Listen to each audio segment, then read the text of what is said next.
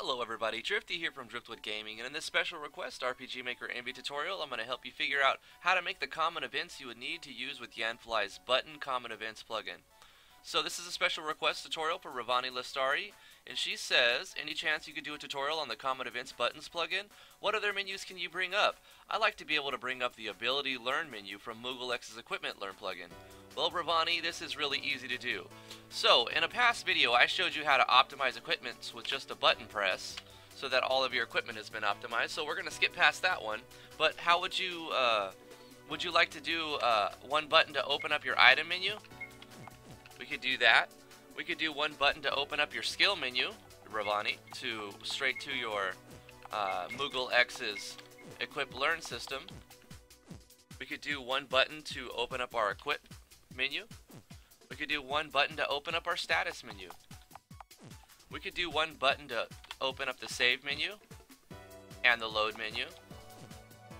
We could do a button to load uh, a zoom common event. That'll let us zoom in and zoom out.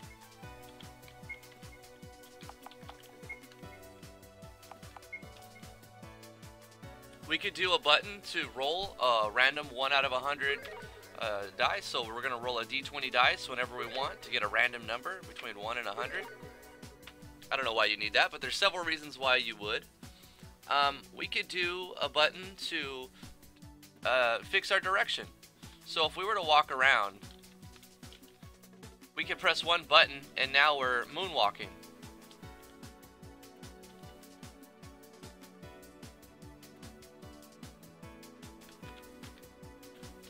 We could do a button press to have us jump in any direction we want. One thing about the jump is it will jump on top of solid objects, so if we wanted to get on this table that we normally couldn't be able to, we could do that. So you would have to design your maps around this particular part of it because of this. Hello. Where's she going? we could also uh, combine the direction fixed with the jumping, so we can go like this.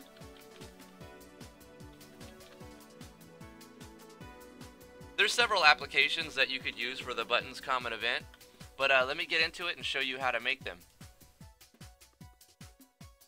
So, to get this installed, first I'm going to put a link in the description below where you can get the plugin you need for this. You're going to put it um, right here, somewhere. Uh, button common events from Yanfly. You're going to put it right under your base troop events above the credits and these other ones. You can see where it's at in the list of things. Alternatively, you can go to yanfly.moe and check out where it's at on his plugin list and you would uh, put it in that order uh, in your plugin manager. So let's look at those common events once we've got the plugin installed. Uh, how would you do this to open up the item menu and stuff? I showed you this in the last video, so we're going to skip past that. To do the item hotkey, it's really simple. You're going to go uh, to insert a new. You, have, you get a new common event, right click insert new, go to tab 3. At the bottom under advanced, you're going to go to script. And in this script call, you're going to type in one line.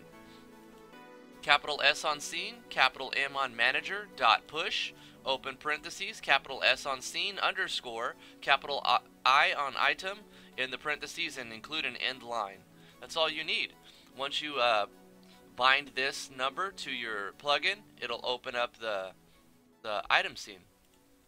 So what we're going to do is go through all the common events and then I'll show you how to link them into your plugin. So for the skills, you do the same thing. You could basically copy paste that, edit it, and then change the item to skill. Really simple. Same thing for equip. Change that last word to equip. On the status, you do the same thing. Change the last word to scene underscore status. The save, similar. Load, same thing. Really easy. To do a jump, you're basically going to do insert a new movement route, which will be tab 3, I believe. No, tab 2. Yeah, set movement route. Set to the player. Say skip if cannot move. And then you're going to do jump. And how it works is X will go from left to right. So if you subtract X, it's going to go to the left. If you add to X, it's going to go to the right. If you subtract y, it's going to go up. If you add y, it's going to go down. So you can even put in like longer jumps if you want to. Keep in mind that doing a jump like this through a common event will jump through solid objects. So design your map in a way that it's uh, it's useful to do that. To do a direction fixer, it's very simpler. Uh, it's very simple. Lur, lur, lur. We're going to add a conditional statement to check if we already have direction fix on. So we're going to create a new switch. So first thing we're going to do is, is create a new uh, conditional branch, and we're going to select a new switch. select on the three dots right here, find a free slot, and call it direction fix. Then we're going to say direction fix is off, and then we're going to select create an else branch. So if direction fix is off, we're going to insert a movement route in, inside of here.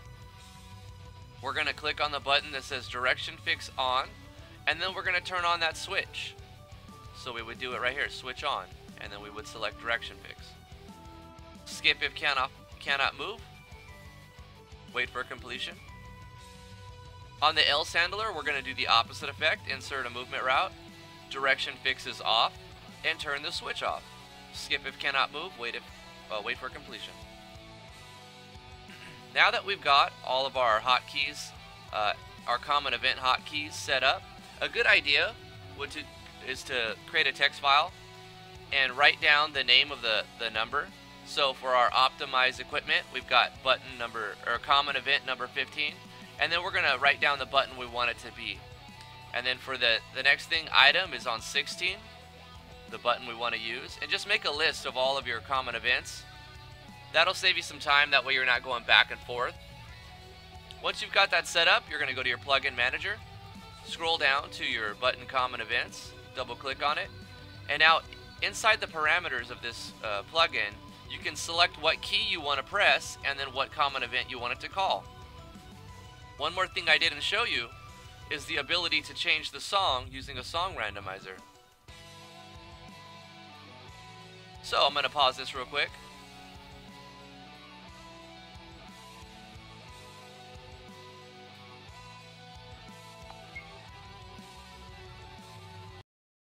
If we press the squiggly button, it's going to uh, change the song. So the player has the ability to change the song in the game with just one button press.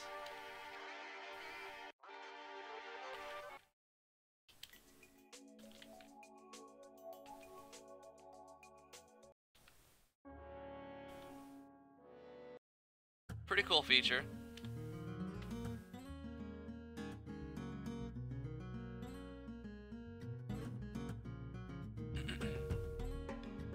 So once you've got all your, your common events mapped out to a text file, or you can just go back and forth, make these one at a time, either way you want to do it. You can just double click on the parameters, type in the number of that common event that you want it to call for that key. And that's basically all there is to it. So for the auto optimize, I know that's common event 15 and I want it to be on the equal key. So I double click here, put in the common event number, hit OK. For the T, I know this is my status menu, so I know status is uh, my number 19 common event. U would be my equipped at number 18 common event. I is my number 16 common event, and so forth and so on until you've got all the special keys mapped out, and then you have a, a lot more control over um, your whole uh, scene manager. So you can open up the menus just from one button press. There's so many features that this plugin can do. I cannot even begin to scratch the surface on what this plugin can do. But thank you guys so much for watching. Thank you for the special request, Ravani. Um, keep working on that game. I'm excited to see what you do with it. Um, if anybody else has any special requests, please put them in the comments below and I will get to them as soon as I can. You guys are awesome. Thank you so much for watching. If you did enjoy this video, please like, favorite, share, and subscribe. We will see you guys in the next tutorial.